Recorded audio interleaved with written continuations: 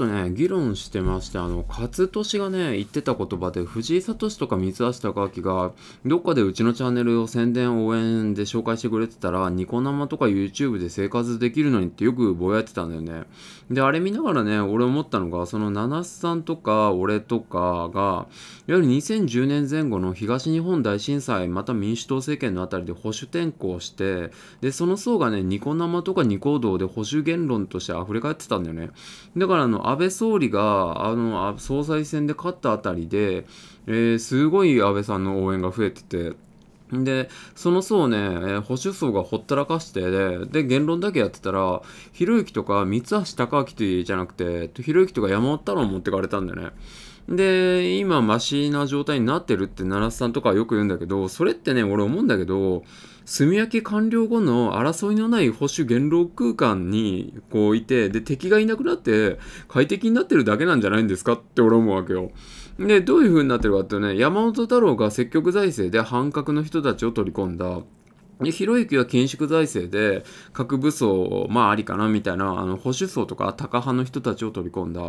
で、桜藤井聡のところに残ってんのは、積極財政で核武装の人たち。つまり、異臭ごとにね、分断されて、各派閥に取り込まれていった結果、積極財政と核武装の両方支持する層がね、激減したっていうのが俺の見たかったで。で、ひろゆき層ってね、実は維新とか立民とか自民党のあの財務省派が多いから、となってくるとマスコミを味方につけてくるからインフルエンサーがねひろゆき層に流れていってまあ、となってくると今の緊縮財政さもありなみたいな状況がまさにそうなんじゃないのかなっていう。で、俺がね、保守系のコミュニティを統合する案つって変なこのおかしな図があるんだけどまあこれ要するに、えー、上の層がね、下の層を応援していって、で、ここの例えば数万の登録者の層が5000人以下ぐらいのチャンネルを応援していく。応援つってもね、ちょっと紹介するとか、まあ声かけて、で、登録者の方にあっちちょっと行ってくださいって応援するぐらい。で、まあこれね、どんな風に言うかっていうとこんな感じなのよ。左翼の人たちのね、信者の取り込みって本当によくできてて、えー、理屈で正義、金で生活、女で性欲、ポジションで承認欲求を与えるっていうんだけど、まあ、左翼系の YouTube ってね、大体登録者と再生数が八田川先生状態で、どういうことかって言ったら、登録者がね、2000人いるんだけど、八田川先生。再生数がね、大体500から100なんだよねっていう。で、これどういうことかっていうと、登録だけして見ないっていう人たちが多いんだけど、まあ、あの、収益化の要件はもうクリアできてるから、小銭を稼がせてポジションを与えるっていう感じで、で、これ左翼系の学者がね、昔出版物を全国の図書館に買わせてして犯したっていう手法とそっくりなんだよね。まあだからあの、上野千鶴子とか吉見俊介とかの本がね、ピカピカの状態で全国の図書館に置いてあって、で、中身もね、まあアホみたいに軽薄な本なんだけど、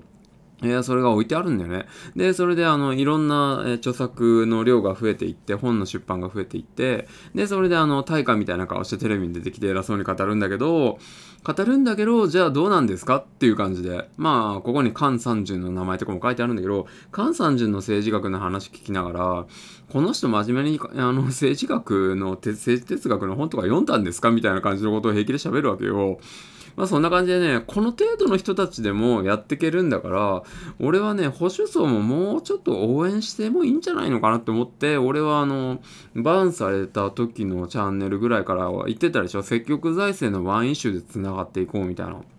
うん。だから、あの、今、K さんなんかがそれやってて、俺もね、登録者がもうちょっと増えたらやってこうかなって思ってるんだけど、まあ、要するに積極財政の人を見かけるたんびに声をかけて、応援またはあの紹介していく感じ。うん。例えば今コミュニティ機能で K さんとかがやってたり、俺なんかもたまにやってるでしょ、あのバス釣りの人の。うん。あれ俺なんとなく見ながら、なんか面白いなとか思って見てしまうんだけど、まあ、俺他にもね、別に紹介してもいいわけよ。登録だけしといてくださいって感じで。うん。あの、見なくてもいいんでって。で、あの、本当に面白いやつは、俺が念入りに紹介するんで、とか言って、そんな感じでいいと思うのよ。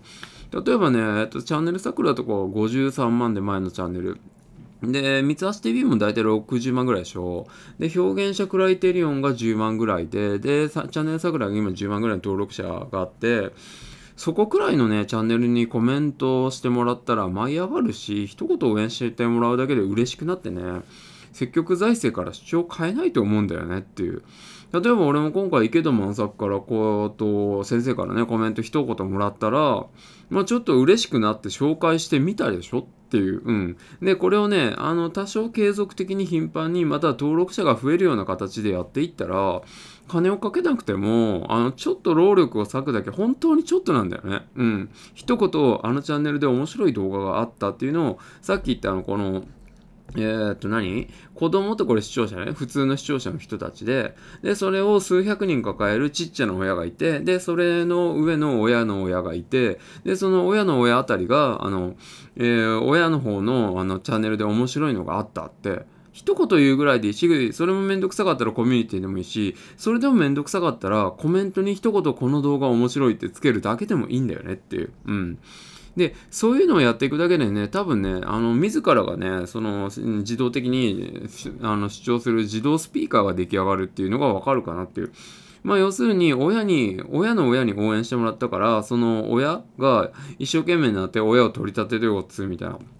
だから、そういうことやるだけでね、池田万作みたいなのが、先生みたいなのが、日本中に出来上がるんじゃないのかなって思うわけよ。この、三つ明日 TV、桜、クライテリオン、ちょっとした動き一つで。だから、あの、なんだろう、中野武みたいな多少主張が違う論客がいたとしても、えー、例えば中野武があれぐじぐじぐじぐじ言ってもあの修復不可能な状態にまでは持っていかせないとか藤井聡が中野武をあの何、えー、もう相手にするのが嫌になるぐらい、えー、言論的に追い詰めるようなことをしないみたいな、うん、そういうふうな関係性ができるコミュニティが出来上がるんじゃないのかなって俺は思うんだけどね。そうお世話になってるんだからみたいな。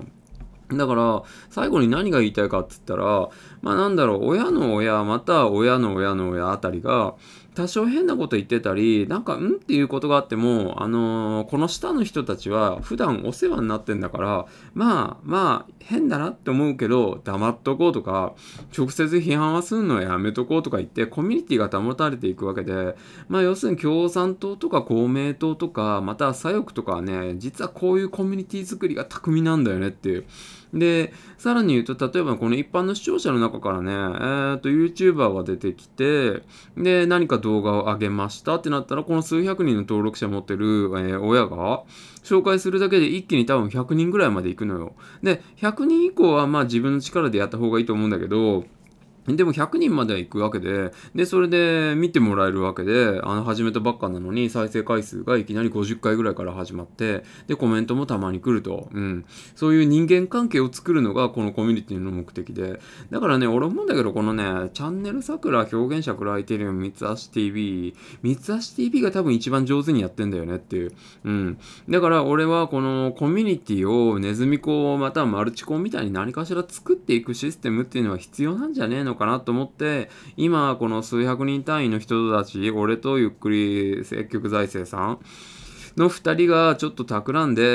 ー、やってるんだけど、こういう風な考えをちょっと示した瞬間、あの、ゆっくり積極財政さんの方がめんどくさいなって言い出して、まあまあまあまあってちょっと思ったんだけどね。まあそこの部分ね、いかにして負担を軽くしていくかっていうのが、その課題なんじゃないのかなっていう。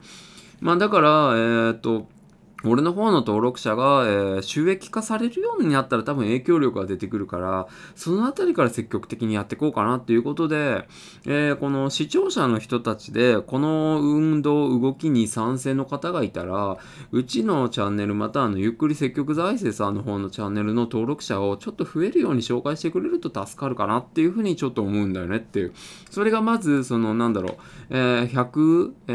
ー、120万人か。で、全選挙区の1%を取ろう計画の120万人をゲットするための、そのなんだろう、根強いコミュニティ、いわゆる散らばらないようなコミュニティを作るための第一歩なんじゃないのかなって思って、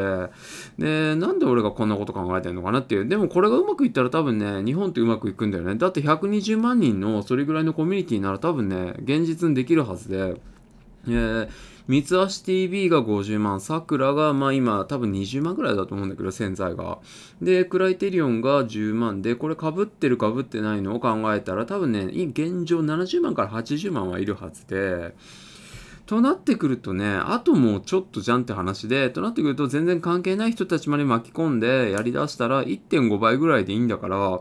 可能性としては全然あって、あの時のね、本当に保守言論が急に増えたような状態を俺は知ってるから、だからね、なんだろう、山本太郎とかひろゆきあたりにね、そう持ってかれるのは、本当票を持ってかれるのはバカな話じゃないのかなと思ってね、もうこの保守言論の人たち、いい加減にしてくれと。どんだけあなたたちは、あの、戦略的なこう展開が下手なのか、またはビジネス的な展開が下手なのか、